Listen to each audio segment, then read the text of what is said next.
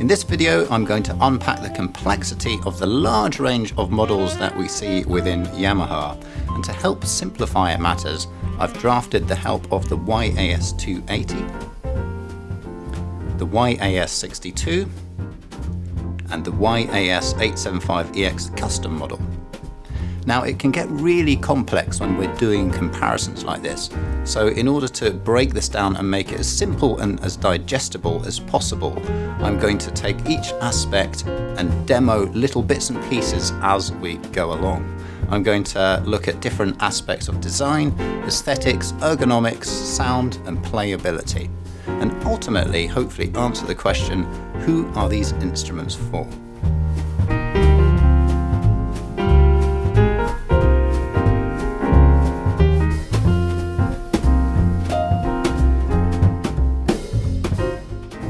Okay, in this first demonstration, I'm going to play each of the three saxophones, and I want you to specifically listen out just for the intonation.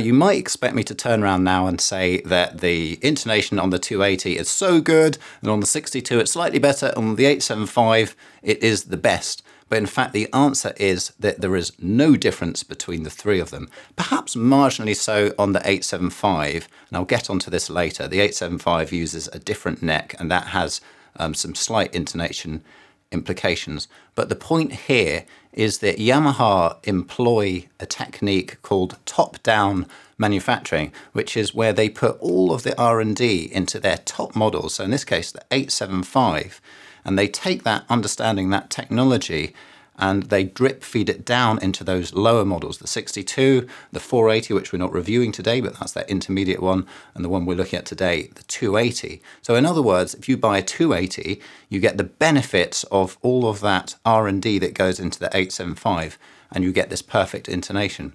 Okay, so next up I'm going to try and demonstrate the softer end of the dynamic range. So I'm going to play a soft phrase um, as identical as possible on each of the three models. Mm-hmm.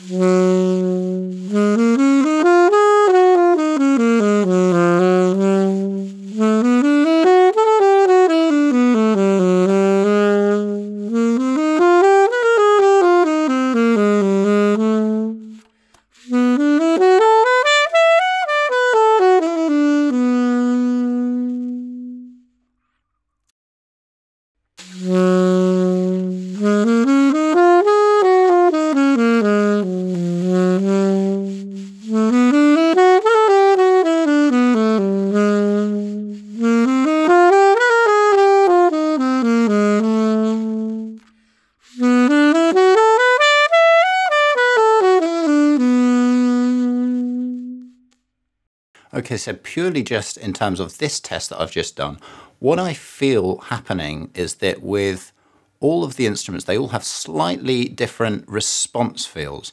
The 280 uh, responds very immediately and, and has a nice centered warm sound, all of the things that we've heard over the years that the 280 does. It is a really pleasant sound. But as we just move through the others, through the 62 first of all, I find that the sound just takes on a bit more gravitas and breadth. And then finally onto the 875, it has that same breadth, but it's sort of almost expanded on even more. There's a sort of silky quality in there. Um, it feels just a bit more exquisite and expansive again. And as you go back to the 280, as I've done in the in the days gone by, I really do hear that difference. And you can really particularly hear it in this quiet playing exercise I've just done.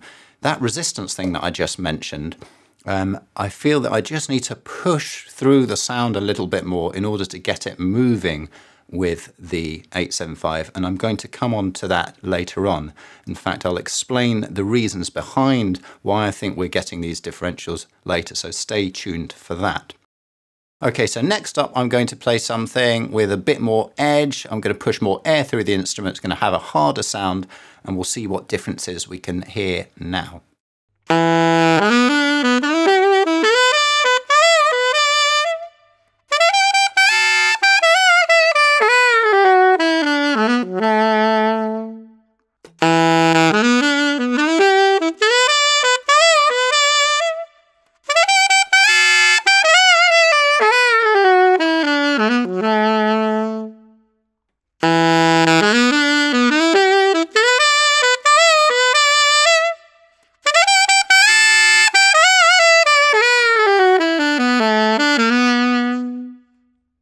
What I found happening there is that as we move through the range onto the 62 and the 875 and we push more air through the instrument and go for a more powerful sound, that sort of breadth of sound that I mentioned with the quieter side of things is retained a bit more on the 62 and particularly on the 875. It's almost like the instrument can handle that amount of air in a better way.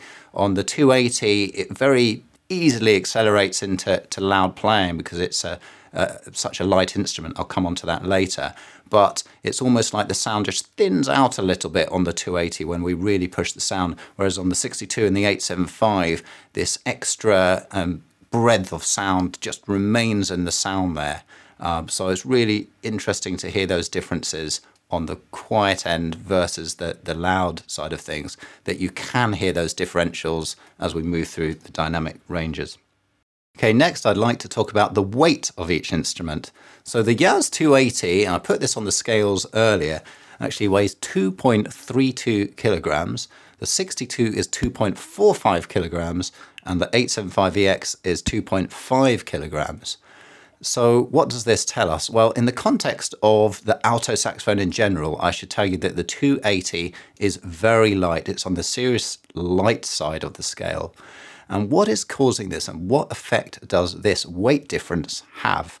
Well, when we move from the 280 to the 62 and then the 875, the 62 and the 875 have a strapping system. So we've got these straps of brass running up and down the entire length of the instrument um, onto which the posts are then soldered. So it adds, adds this sort of extra um, solidity of build, if you like. And it's a common practice uh, with many um, sort of professional level instruments, if you like. But also with the 62 and the 875, they're made from a different brass, um, a, a more premium brass with a heavier gauge.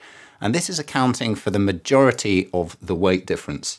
Um, there are some other peripheral things that may make a little difference, uh, but they are not uh, the sort of majority factor, as it were. The traditional thinking is that adding more weight can bring a denser and fuller sound to the build. Uh, but in fact, there's some brands who've gone the other way recently and they've gone for lighter builds so they get more of a free blowing effect. But back to the 280, as it's already one of the lightest instruments on the market, um, the 62 and the 875, when you put it in that context, are kind of perhaps more normal weights, as it were. And with the 280 being so light, what this means is that as we push the air through the instrument, it just responds so quickly and effortlessly. And in this sense, it makes it very suitable uh, for beginners who perhaps don't have that same air capacity as more advanced players, where the 62 and the 875 can come into their own. And just on this point of the having the lighter build on the 280, the interesting thing about it is that it really picks up the air very easily at those quieter dynamics as, as we've already demonstrated. But when we really push it to the max,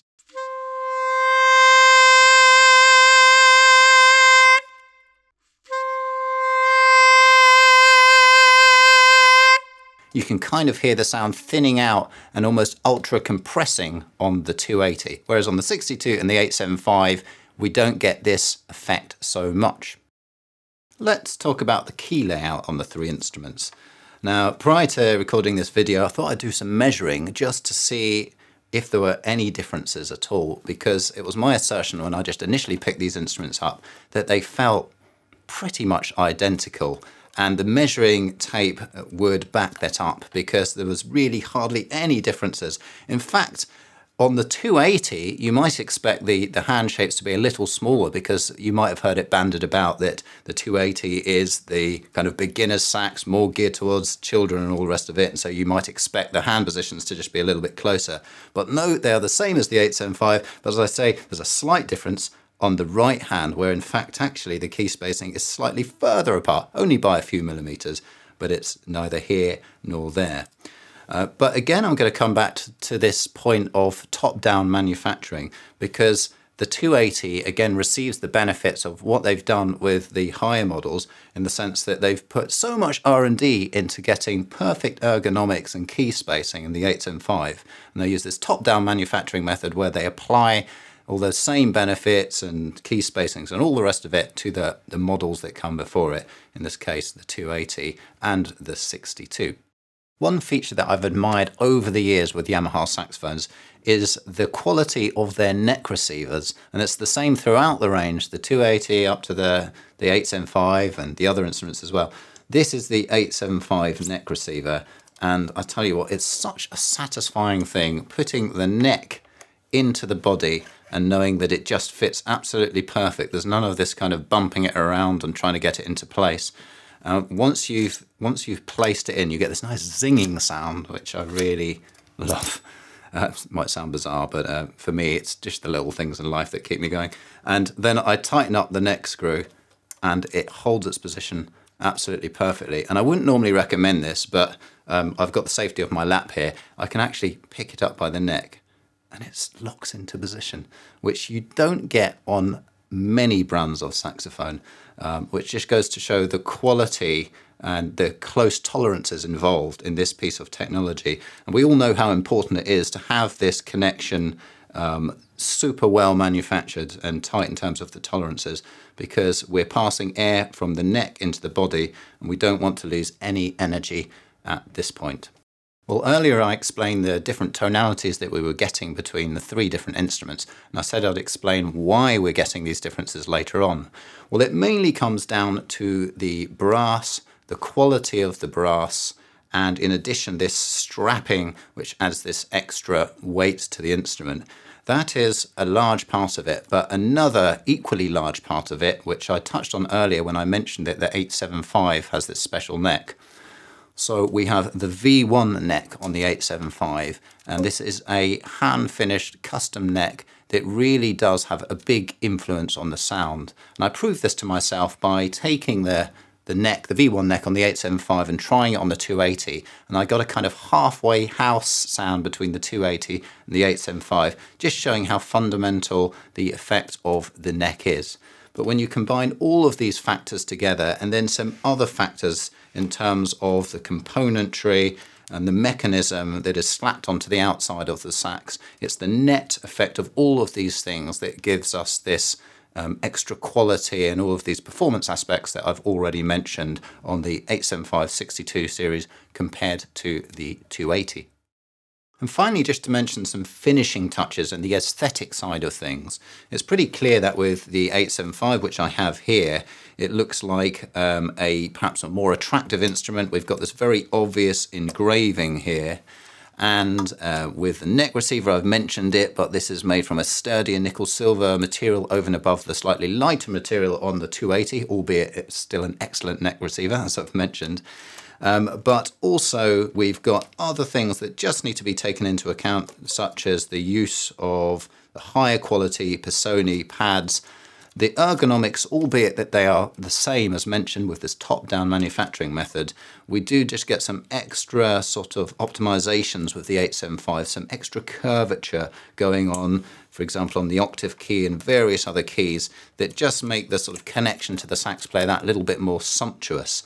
So it's the sum of all these extra things that just give you that slightly more um, kind of exquisite feeling and experience when we're playing on the 875. Okay, so now to answer the question, who is each sax for? Well, as alluded to along the way, the YAS 280 is very obviously a student instrument, but due to the fact that it's of such excellent quality, can really take you beyond that. So you could be a student for many years on this instrument and receive still plenty of benefit from the instrument. As we move on to the YAS 62, this is a real solid workhorse of really a, what I would call an entry professional saxophone. So you could play this on a professional basis. It has the solidity and the weight of sound and the sort of rigor of build to carry you through in many a professional situation.